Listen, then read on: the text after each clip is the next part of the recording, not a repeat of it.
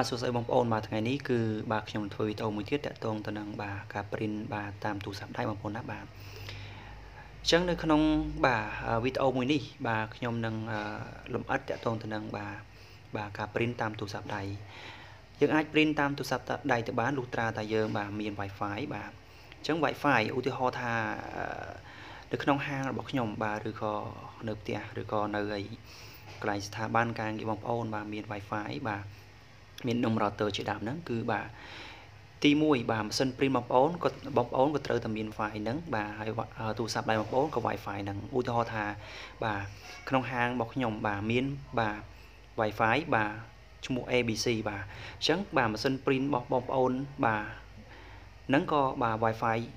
បាទ ABC បាទទូរស័ព្ទបងប្អូនក៏បាទ Wi-Fi ABC បានអាចបាទបាទភ្ជាប់ បាទ connect ឬក៏ print ជាមួយគ្នាកើតបងប្អូនណាបាទអញ្ចឹងបន្តមកយើងចូលបាទទៅតាមការណែនាំរបស់ខ្ញុំមកបាទដើម្បីភ្ជាប់បាទ Wi-Fi បាទ ABC បងប្អូនណាបាទហើយកន្លែងនេះគឺបាទនឹងបាទគឺ Wi-Fi របស់បាទខាងបងប្អូនបាទគឺ ABC បាទកន្លែងហ្នឹងគឺបាទ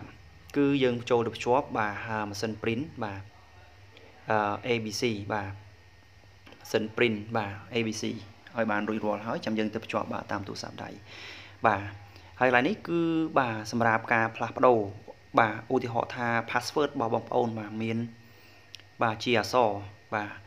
បាទចុចតាមហ្នឹងទៅ បាទប៉ុន្តែបើសិនជាក្នុងករណីបាទកន្លែងនេះគឺ back បាទបាទក្នុងករណីបាទបង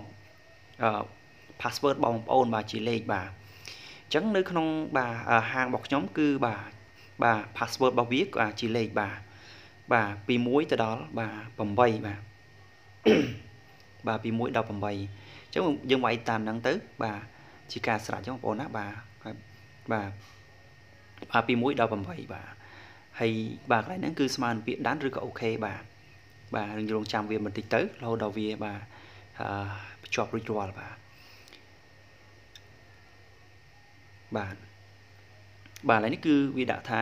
connecting រួចរាល់ហើយបងប្អូនណាបាទអញ្ចឹងវីដេអូបាទការភ្ជាប់ Wi-Fi ទៅលើម៉ាស៊ីន print បាទ គឺមានតែប៉ុណ្្នឹងបងប្អូនណាបាទបន្តមកគឺយើងចូលទៅបាទបាទឥឡូវយើងចូលទៅភ្ជាប់បាទ Wi-Fi ទៅលើទូរស័ព្ទដៃរបស់យើងបងប្អូនណាបាទអញ្ចឹងបាទ Wi-Fi បងប្អូនគឺបាទ ABC បាទអញ្ចឹងទូរស័ព្ទដៃហ្នឹងក៏បាទក៏ ABC បាទម៉ាស៊ីន print ហ្នឹងគឺក៏ ABC ដែរបងប្អូនណាបញ្ជាក់ឡើងវិញណាបងប្អូនណាកុំឲ្យបាទភ័ណ្ឌបាទកុំឲ្យភ័ណ្ឌច្រឡំបងប្អូនបាទអញ្ចឹងបាទបាទយើងចូលទៅបាទបាទ setting បាទយើងចូលទៅ setting បាទដើម្បី ចង់ដឹងថាបាទទូរស័ព្ទដៃហ្នឹងបាទ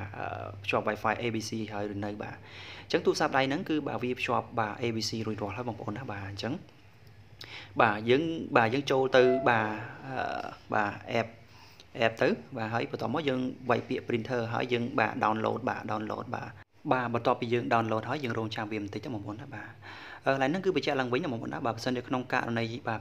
តែបងប្អូនមាន Wi-Fi បងប្អូនចង់ print បាទ ប៉ុន្តែមាន Wi-Fi អញ្ចឹងគឺបាទបងប្អូនមានទូរស័ព្ទដៃបាទអញ្ចឹង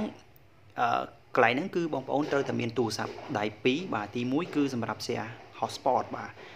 ទី2គឺសម្រាប់បាទបាទ print បាទអញ្ចឹងបាទឧទាហរណ៍ថាទូរស័ព្ទដៃបងប្អូនបាទអឺពីរហ្នឹងគឺមួយ iPhone មួយទៀតគឺបាទ Oppo បាទអញ្ចឹងទូរស័ព្ទដៃសម្រាប់បាទសម្រាប់ print ហ្នឹងក៏ភ្ជាប់ Wi-Fi បាទ iPhone ហ្នឹងហើយបាទម៉ាស៊ីន print ក៏ភ្ជាប់ Wi-Fi iPhone ហ្នឹងដែរបាទបន្តមកយើងចូលយក agree ហើយ OK បាទ allow allow វាទៅបងប្អូនណាបាទបាទកន្លែងនេះយើងចូលទៅបាទ add បាទម៉ាស៊ីន print បងប្អូនណាបាទចូលទៅ add ម៉ាស៊ីន print បងប្អូនបាទបាទឥឡូវយើងចុចទៅលើវាទៅ បាទចុចទៅលើបាទបាទទៅលើវាទៅ បាទរងយើងទ្រង់ចាំបន្តិចបាទ បាទកន្លែងហ្នឹងគឺបាទយើង remove វាចោលអស់បងប្អូនណាបាទបាទបន្តមកគឺបាទយើង add វា register វាសាថ្មីបាទបាទប៉ុន្តែបើសិនបើសិន print បងប្អូនបាទ61បងចុចយក61ទៅបាទបន្តមកយើងចុច add វាទៅបាទបាទបាទវាចេញបែបនេះបាទវា load បែបហ្នឹងគឺមានថាវាស្គាល់គ្នាបងប្អូនណាបាទអញ្ចឹងបងអាច print បានហើយប៉ុណ្ណឹងបាទបងប្អូនណាបាទ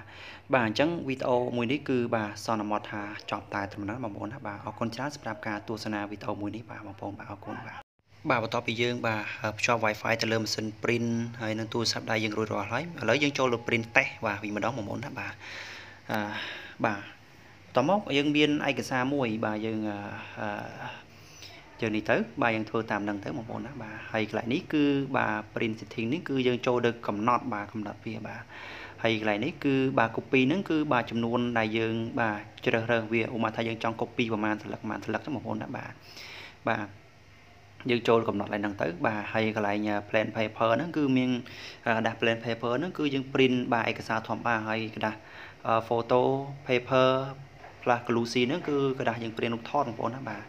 ប៉ុន្តែយើង print តាមទូរស័ព្ទដែរអត់សូវច្បាស់ទេបងប្អូនណាដោយសារតែវាអត់មានកំណែកំណត់គ្រប់គ្រាន់បងប្អូនណាបាទអញ្ចឹងយើងចូលទៅ print វាទៅបាទបន្ទាប់ពីយើងកំណត់រួចរាល់បងប្អូនណាបាទ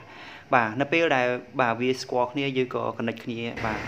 ដូចគ្នាបាទគឺវាចេញមកគឺកន្លែងនេះគឺបាទ print បាទ ជំនាញថាវារួចរាល់បងប្អូនណាបាទអញ្ចឹងបាទអឺ